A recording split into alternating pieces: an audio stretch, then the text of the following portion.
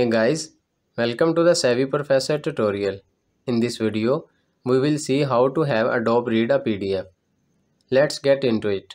First of all, we need to open Adobe Reader software. Let's navigate to it and double click to open it. Here we are on the homepage of the Adobe Reader. We need a PDF file to make Adobe read that file. I am going to open this file. Here we are. Scroll down I am going to make Adobe readable this text.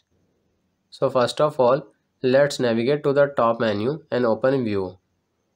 From this drop down, I will open the last option which is read out loud and then activate read out loud.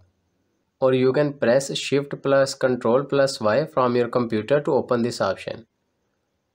Once you activate the read out loud option, select any text from PDF file and Adobe Star reading of that particular text. For example, I will choose this line.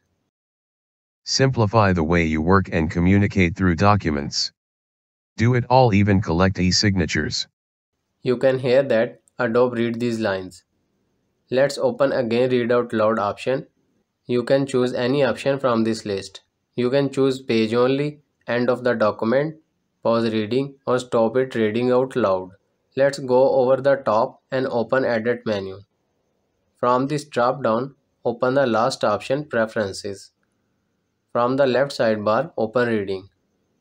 On the right side, in the Read Out Loud option, uncheck Use Default Voice.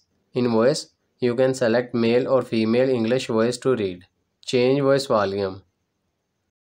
Also, we can change use default pitch attributes like pitch of the voice and words per minute. Once you are all done, click over OK.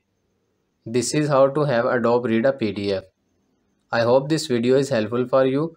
For more information, please subscribe our YouTube channel and thank you for watching.